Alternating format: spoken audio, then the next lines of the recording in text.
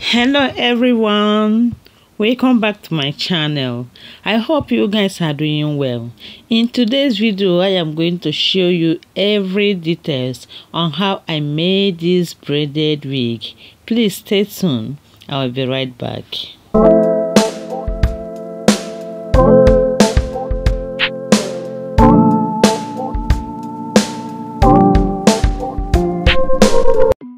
I'm done ventilating this line and I ended it on this spot here.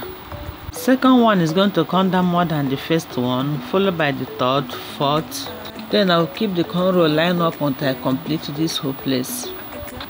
The braiding we are going to make today is feed-in cornrow. We are going to start by adding a very small quantity of hair first, then followed by increasing the volume of the hair as we go. But if you watch me closely, you will see that I started with the natural hair first.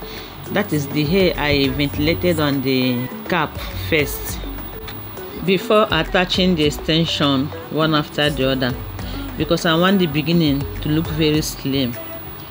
And the style I am making today is C curve. Please, I want you to watch very closely so that you can understand what I'm doing freedom casting demons from my soul.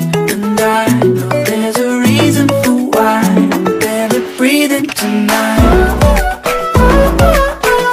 Barely breathing Now I'm starting the second line. Just like I said earlier I came down a little bit before starting the ventilating. So that after the braiding the cornrow will come down a little bit than the first one in my last video, I explained the two ways in which you can ventilate your hair. If you have not watched the first part and second part of this wig, I will advise you go back and watch it. It will help you to learn a lot. You will find their link in a comment section below this video.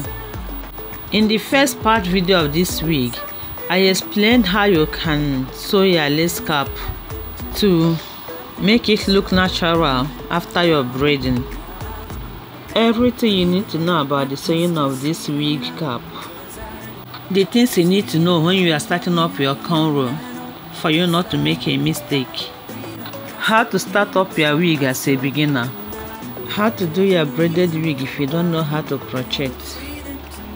You will find all the details in the part 1 of this wig and things you need to know about uh, ventilating your hair before rolling it.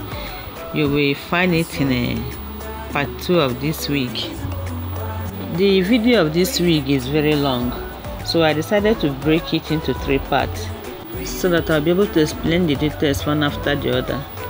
If you actually want to understand the whole details I implore you to go back and watch those other videos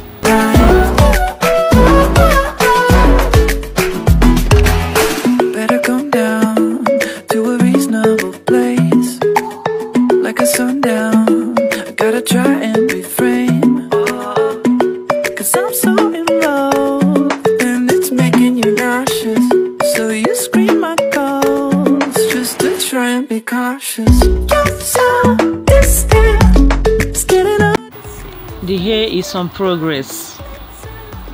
Our C-curve line is coming out. You can see how natural it's looking.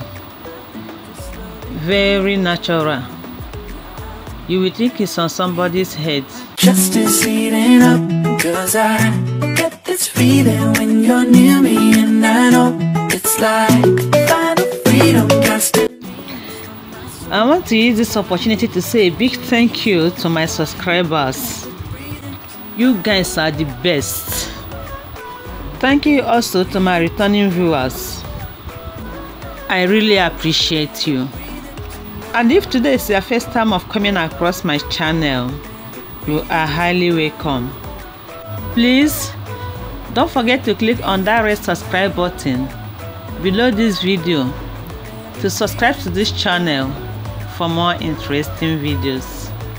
Also click on the notification bell so that you can be notified each time I post a new video. Send me your comment in the comment section below.